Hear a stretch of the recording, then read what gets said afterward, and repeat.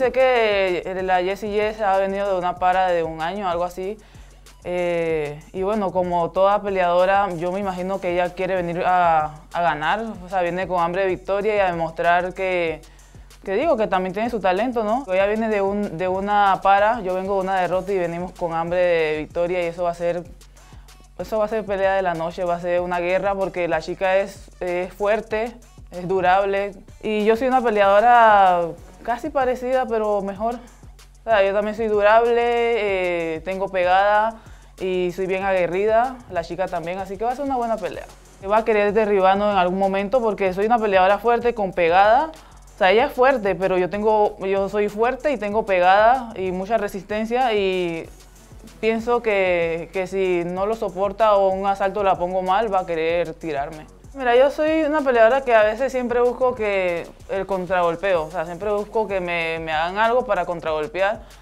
Pero para esta pelea he tratado de, estamos trabajando, trabajamos eh, un poco diferente en, en, tener tres opciones, contragolpear, buscarla, eh, llevar a someterla, o sea, estamos preparados para las tres. Lo que aprendí fue a, no, sea, no, desmoronarme, porque muchos peleadores, y me ha pasado anteriormente, eh, que perdemos y se nos va el mundo, ¿no? Pero yo traté de agarrar esto a lo positivo. Yo dije, ¿sabes qué? Peleé con una chica en el ranking, mi segunda pelea por, eh, corto aviso.